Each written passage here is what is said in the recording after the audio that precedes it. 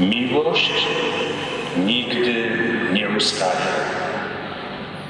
Drodzy młodzi, Marto, Mateuszu,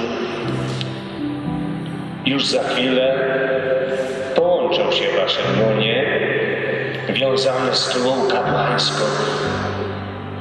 Połączą się dwa dotąd wasze osobne życia.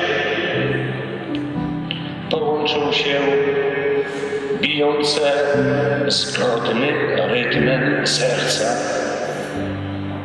I rozpocznie się nowa historia. Historia waszego wspólnego życia.